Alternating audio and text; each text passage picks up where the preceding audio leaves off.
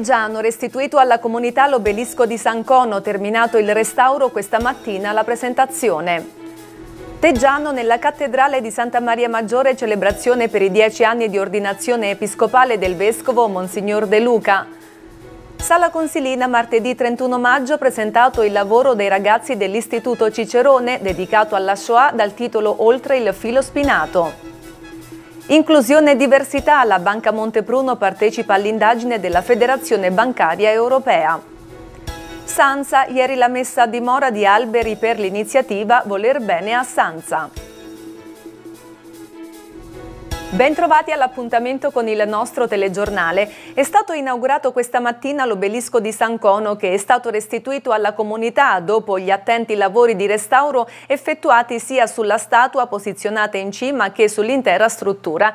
Un lavoro che si attendeva da tempo e che è stato finalmente realizzato grazie ai fondi POR 2014-2020 di strategia delle aree interne. Un importante momento per la comunità teggianese questa mattina, giorno in cui la Chiesa celebra celebra San Cono. L'inaugurazione alla presenza anche del consigliere regionale Corrado Matera che sin dal momento in cui ricopriva la carica di assessore regionale della campagna si è attivato per consentire l'arrivo dei fondi per il recupero dell'opera sorta a seguito del terremoto avvenuto nel 1857 che colpì duramente tutto il Vallo di Diano. Teggiano non subì particolari danni né vittime e per tale ragione i cittadini decisero di realizzare realizzare l'obelisco nel punto in cui la comunità si rifugiò. Ma ascoltiamo le interviste realizzate questa mattina a Teggiano.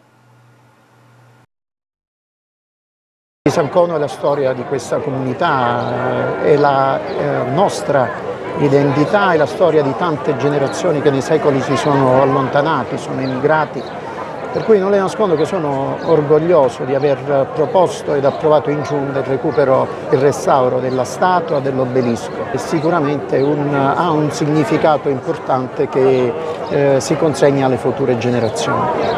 Riacquistiamo la libertà, la partecipazione sociale dopo due anni di pandemia. Partiamo dal mese di giugno con appuntamenti importanti dove ci sarà tutta la partecipazione da parte di tutta la cittadinanza nostra. Ci sarà la processione del nostro santo protettore, al rientro della processione ci fermiamo in piazza con la statua di San Cono presente e inauguriamo l'obelisco di San Cono che ritengo che eh, è un'opera importante che è stata restaurata per il nostro paese. Colgo anche l'occasione di ringraziare la Regione Campania che ci ha dato la possibilità di restaurare questo monumento. Erano da anni che ci stavamo dietro, ma non si riusciva mai a portare a segno quest'opera. E quindi voglio ringraziare Corrado Matera, allora assessore alla Regione Campania, dove ha finanziato l'opera e oggi siamo qui a inaugurare l'opera. Sono trascorsi dieci anni dall'ordinazione episcopale del vescovo della diocesi di Teggiano Policastro, Monsignor Antonio De Luca, e dal suo arrivo alla guida della diocesi. Mercoledì scorso, presso la cattedrale di Santa Maria Maggiore, si è tenuta a Teggiano la celebrazione religiosa. Vediamo i dettagli. Mercoledì 1 giugno a Teggiano celebrazione per i dieci anni di ordinazione del vescovo della diocesi di Teggiano Policastro, Monsignor Antonio De Luca, avvenuta nel febbraio del 2012. A distanza di pochi giorni Monsignor De Luca arriva nel Vallo di Diano alla guida della diocesi. Un anniversario doppio quindi che è stato festeggiato e celebrato da tutto il territorio diocesano con la presenza alla celebrazione religiosa di diversi sindaci provenienti dal Golfo di Policastro, dagli Alburni e naturalmente dal Vallo di Diano partendo dal sindaco di Teggiano Michele Di Candia, che ha ricordato il suo arrivo a Teggiano e la vicinanza mostrata alle amministrazioni locali. Dieci anni di ordinazione episcopale, ma anche dieci anni dall'arrivo del vescovo del Vallo di Diano, avvenuta il 4 febbraio del 2012.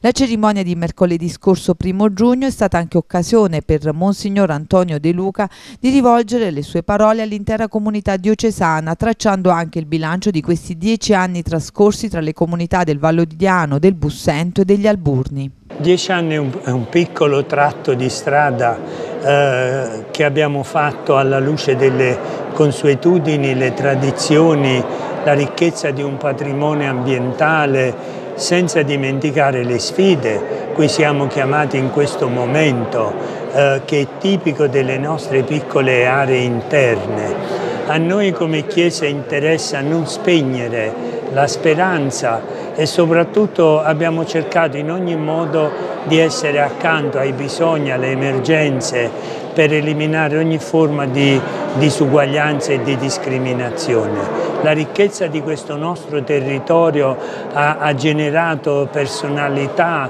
eh, particolarmente eccelse nel mondo della cultura, della scienza, dell'educazione e ciò mette in evidenza la tenacia, eh, la determinazione del sacrificio e dell'impegno. Tutto questo lo ricordiamo affinché diventi stimolo e impegno per noi e per eh, le eh, nuove generazioni. E credo che eh, in questo momento ci possono essere di aiuto tre parole che un filosofo contemporaneo ha consegnato valutando le sfide che ci aspettano. Le tre parole potrebbero essere dentro, insieme e oltre dentro la realtà, la storia che viviamo, ma insieme in una rete spirituale e umana, ma anche guardando l'eterno, l'infinito, l'oltre, dentro, insieme ed oltre. Hanno suscitato grande emozione i ragazzi dell'Istituto Superiore Cicerone di Sala Consilina con il loro lavoro che ha visto come tema centrale la Shoah ma anche l'amore. Martedì scorso i ragazzi dell'Ipsia e del Liceo Classico hanno presentato alla scuola e al territorio il lavoro denominato Oltre il filo spinato. Vediamo i dettagli nel servizio. Attraverso un film cortometraggio i ragazzi dell'Istituto di Istruzione Superiore Marco Tullio Cicerone di Sala Consilina, guidato dalla dirigente scolastica Antonella Vairo, hanno voluto celebrare la giornata della memoria che si celebra ogni anno a gennaio. Un lavoro che ha portato i giovani che hanno realizzato il progetto, denominato Oltre il filo spinato, coadiuvati dalle docenti Sara Petti, Anna Rosa Palladino e Maria Pia Scutiero, ad approfondire la storia e il dramma della Shoah attraverso il racconto del della vita di Heinz Kohl e di Rita Cairone a cui sono stati dedicati lavori che martedì scorso, 31 maggio, sono stati presentati nella mattinata a docenti e alunni dell'Istituto di Istruzione Superiore di Sala Consilina presso l'auditorium dell'ITIS e nel pomeriggio al territorio in un evento che si è svolto presso l'auditorium del Polo Culturale Cappuccini. Il lavoro realizzato e presentato dagli studenti dell'Ips e del liceo classico Angelo Alagia, Luca Ubaldi, Matteo Godonoga, Denis Marian Todorica, Samuele Mele e Alessia Di Leo è consistito nella realizzazione di un film cortometraggio e di una mostra fotografica, opere che hanno ripercorso la storia d'amore tra Heinz Kohl, detenuto in un campo di concentramento di origine ebrea che ha vissuto un periodo della sua vita a Sala Consilina, dove ha conosciuto Rita Cairone, docente all'epoca del liceo di Sala Consilina. Un lavoro che ha consentito ai ragazzi anche di conoscere e di intervistare Anna Skoll, figlia di Heinz.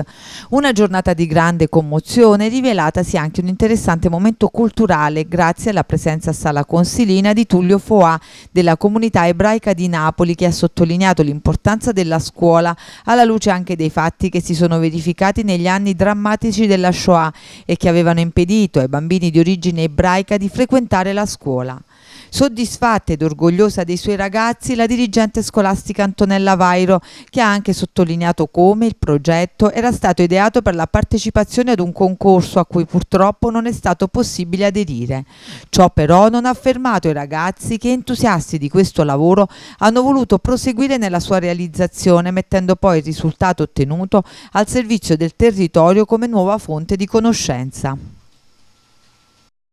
Voltiamo pagina, grande soddisfazione per la Banca Montepruno che partecipa all'indagine della Federazione Bancaria Europea sui temi dell'inclusione e della diversità. Vediamo.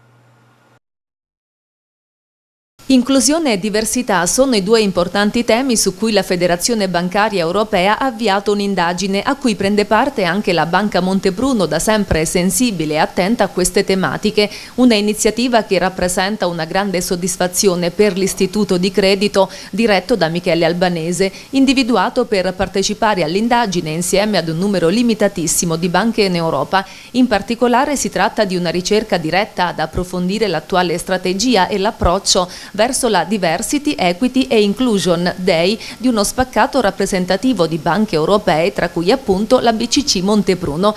I risultati serviranno poi per la roadmap di Day che la Federazione Bancaria Europea intende redigere con raccomandazioni specifiche per le banche europee su come accelerare il loro percorso di Day. All'indagine ha lavorato la responsabile delle risorse umane e organizzazione della Banca Montepruno, Francesca Sessa, nell'ambito del suo ruolo di componente del gruppo di lavoro dell'ABI, Associazione Bancaria Italiana, Carta delle Donne, alla quale la BCC Montepruno ha aderito oltre ad essere il riferimento della banca stessa nell'associazione IDEE, che è l'associazione delle donne delle banche di credito cooperativo. L'indagine della federazione è collegata a tre temi, la governance per DEI all'interno delle banche europee, il legame tra trasformazione aziendale e DEI e gli aspetti di leadership di DEI. L'indagine è stata inoltre un'ottima un'ottima occasione per contribuire al processo di ricerca messo in atto, dando visibilità a quanto fatto dalla banca sull'argomento in vista anche della condivisione di esperienze che verranno fuori a livello europeo.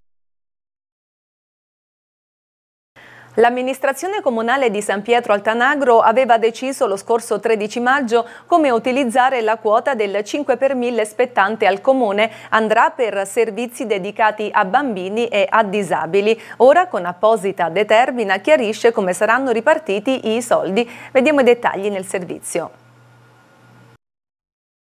L'amministrazione comunale di San Pietro Altanagro aveva deciso lo scorso 13 maggio come utilizzare la quota del 5 per 1000 spettante al comune. Andrà per servizi dedicati a bambini e a disabili. Ora, con apposita determina, chiarisce come saranno ripartiti i soldi. Relativamente all'esercizio finanziario 2021, anno d'imposta 2020, la quota spettante al comune è pari a 710 euro. Con delibera di giunta era stato deciso di utilizzare la somma nella promozione della cultura e formazione dei bambini bambini, rimuovendo eventuali barriere sociali ed economiche e favorire l'implementazione dei servizi comunali in favore dei diversamente abili. Della somma ora è stato deciso che 200 euro andranno per l'acquisto e la fornitura di libri di testo in favore degli alunni della scuola primaria locale in occasione della giornata mondiale del libro e 510 euro per il rifacimento della segnaletica orizzontale e verticale per diversamente abili. La legge, lo ricordiamo, prevede la possibilità per i contribuenti di destinare il 5 5 per 1000 delle trattenute IRPEF al comune di residenza. Le somme raccolte dal comune devono essere poi utilizzate per finanziare o ampliare le attività svolte in campo sociale. La scelta di destinare il 5 per 1000 non comporta maggiore spesa a carico del contribuente e non scegliere non consente alcun risparmio perché i fondi sono comunque destinati allo Stato. Nella dichiarazione dei redditi si può scegliere il beneficiario e lo Stato poi ripartisce la quota su indicazione dei cittadini contribuenti tra le organizzazioni no profit o altri enti come i comuni. A San Pietro Altanagro da anni l'amministrazione comunale sensibilizza i residenti alla donazione del 5 per 1000 dei propri redditi in favore del comune perché l'ente possa poi destinarli ad iniziative utili a sostenere i servizi sociali e quindi a migliorare la qualità della vita dei cittadini.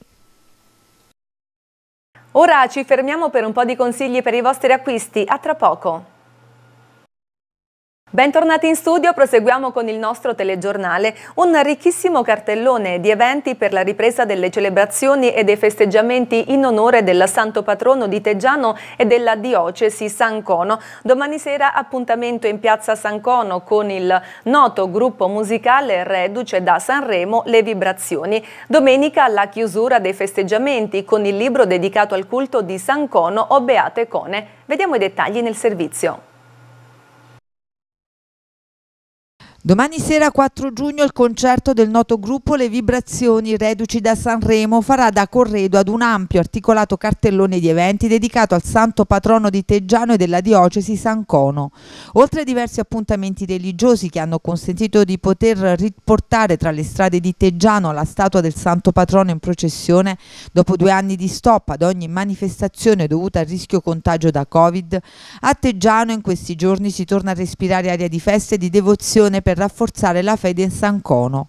Oltre all'inaugurazione dell'obelisco restaurato con fondi POR 2014-2020 rientranti nell'ambito della strategia delle aree interne, diversi appuntamenti sono stati organizzati per la celebrazione della festa, che oltre a riprendere i riti religiosi legati alla tradizione e al culto di San Cono, prevedono anche momenti culturali con la presentazione domenica 5 giugno del libro O Beate Cone, in cui, attraverso approfondite ricerche, l'autore Marco Ambrosi Ambrogi ripercorre la storia e la devozione del culto di San Cono non solo a Teggiano ma anche in diversi altri comuni valdianesi e momenti di musica d'eccezione con il ritorno con la venticinquesima edizione dell'evento musicale Teggiano Jazz realizzato grazie ai fondi POC 2014-2020 nella linea strategica Rigenerazione urbana, politiche per il turismo e cultura nell'azione 3 eventi di rilevanza nazionale ed internazionale. Sabato 4 4 giugno a partire dalle ore 21 in piazza San Cono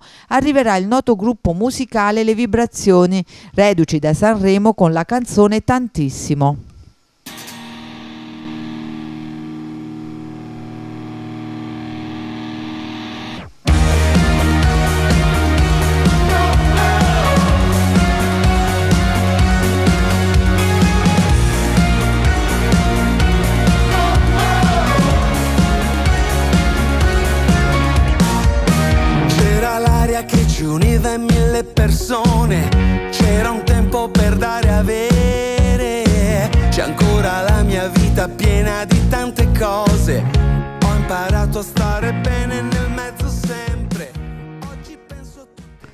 Un evento concerto che direttamente da Teggiano porterà il pubblico ad ascoltare live alcuni dei brani più famosi del gruppo formatosi nel 1999 a Milano. Canzoni come Vieni da me,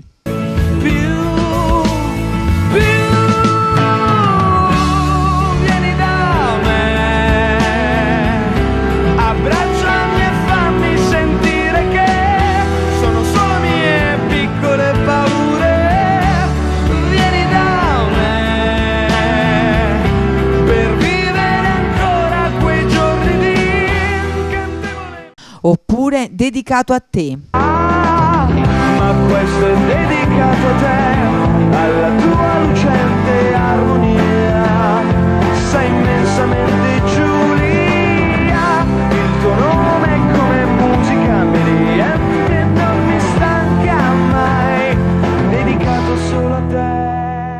Ma anche tantissimi altri brani di successo.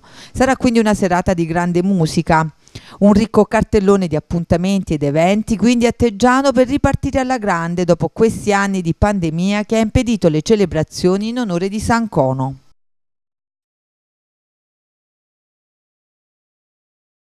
Non sono previsti fondi nel bilancio della Regione per il Corpo Nazionale del Soccorso Alpino e Speleologico della Campania. Il servizio si trova al momento in forte difficoltà, con alcuni automezzi già fermi e altri impiegati al minimo. Il grido d'allarme è stato lanciato dalla dirigenza regionale. I dettagli.